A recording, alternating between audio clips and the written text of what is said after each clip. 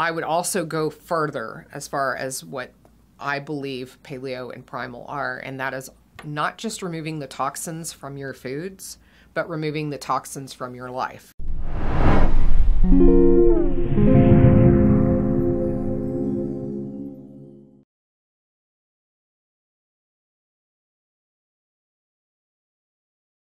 We run along paleo and primal.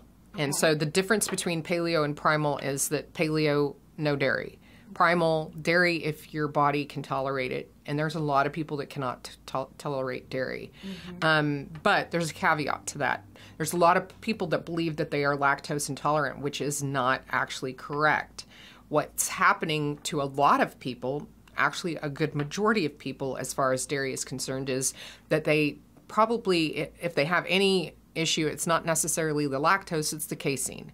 But the other part of that, the other piece of that is it's also the processing. So we suddenly decided in the name of shelf life that we wanted to start ultra patch pasteurizing our our dairy. Mm-hmm. Not only that, then we also homogenized it the and then so what these two things do is they destroy all the good bacteria that is in dairy and then we fortify it by putting in synthetic vitamins which your body does not recognize and that that typically is what people believe is lactose intolerance. It's really the intolerance to synthetic vitamins that have been added back to that um, that dairy.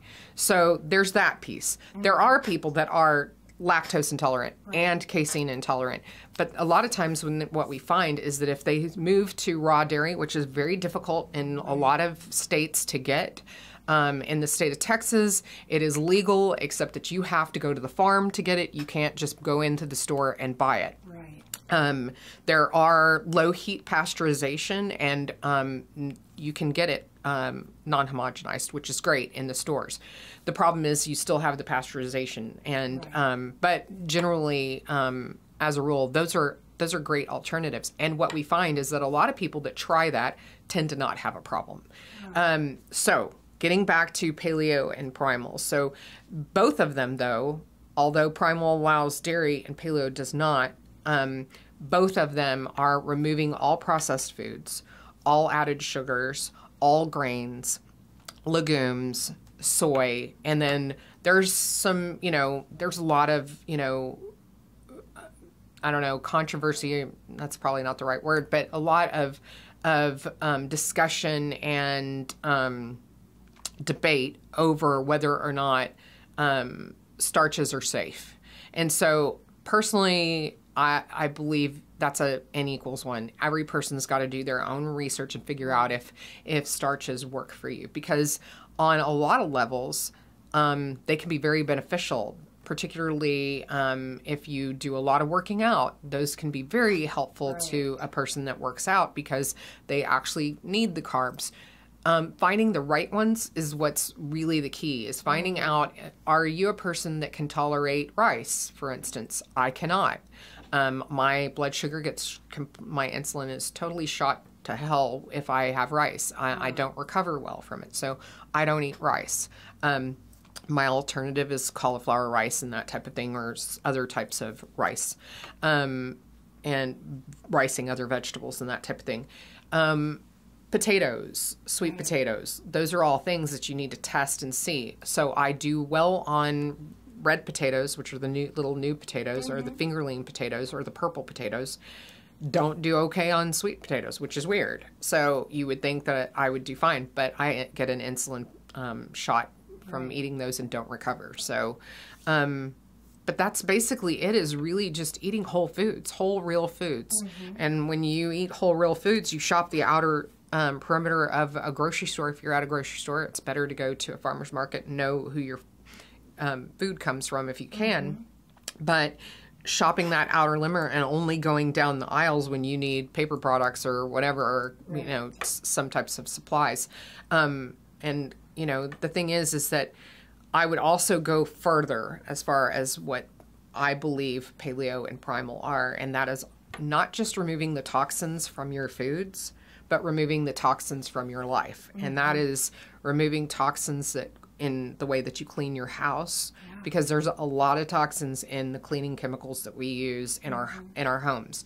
Then there is the toxins that we put on our bodies every day, which is you know um, soaps and shampoos and conditioners, and then for ladies we put on makeup. And um, they say on average that the average woman puts 86 toxic chemicals on her body and face per day.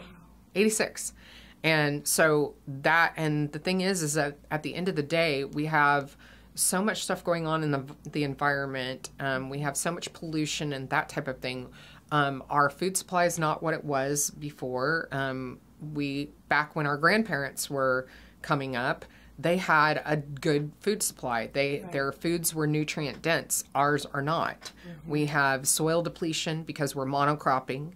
Um, we have a lot of toxic runoff, and then of course, you take into account that we have lots of pesticides that we put on our foods, and we have inhibitors that either inhibit growth uh, or bugs or some type of thing like that, but also that are um, we add a lot of chemicals and hormones to animals. Mm-hmm. And um, so, in our opinion, the um, what we call a confined animal feeding operation is what factory farming is, mm-hmm. and we believe that that should be completely abolished. It is something that is not good for our planet. It's not good for us.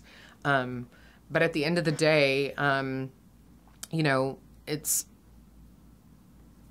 there's just so many things that are going on and we just have to really be careful about you know the toxins that we have because mm-hmm. we're getting to- lots of people have a lot of toxic overload on their bodies and their bodies can't overcome it we're um, in a day and age too where like i particularly do not have my gallbladder anymore if i would have known back then what i know now mm-hmm. i would mm. never have let them take my gallbladder we have all of our we have all of our organs for a reason mm-hmm. and just removing one because there's an issue is a little bit in my opinion very um what's the word um it's not just ridiculous Insane. it's kind of in in my opinion it's it's um I can't think of the word. Um. Anyway, um, medieval in a way. We re- we remove uh, these organs instead of fixing the problem that's causing the issue. And the thing is is that lots of these things I could have fixed the problem. If I had been given dietary advice to change what I was eating, I would have been able to fix that problem on its own. Your body is miraculous. Mm-hmm. It is an amazing and lack of a better word, machine. It's not a machine, but it is this amazing thing and yeah. it has the ability to heal itself of all kinds of things, cancer included, if it's given proper nutrition, if it's given all the proper things that it needs to fuel itself, right. It can overcome. And this is the thing, a lot of people don't realize this, but almost every day you have cancer in your body. Mm-hmm. Almost every single day you have cancer in your body of some kind. And every day your body fights and gets rid of it. Mm-hmm. Your body's capable of that. The thing is is that there comes a point where the toxic overload is too much for your body to continue to fight it and that's why we ultimately end up with disease. We end up with cancer heart disease obesity um, diabetes alzheimer's. All of these things are huge contributors because of the fact that we end up with this toxic overload from the foods that we eat. So right. that's why I take that further and say it's it's removing all toxins because all the load ends up ultimately causing a problem. To keep up with our YouTube content, make sure that you've subscribed and clicked that notification bell. If you want to hear the full version of this podcast, along with new episodes every Tuesday and Thursday, you can find the Wellness Plus podcast on your favorite podcast apps, including Spotify, Apple Podcasts, and more. To see the full video version of this episode and to help keep this information free, you can sign up for wellnessplus.tv or become a Patreon supporter at patreon.com slash psychetruth. We've included all the links you need down in the video description.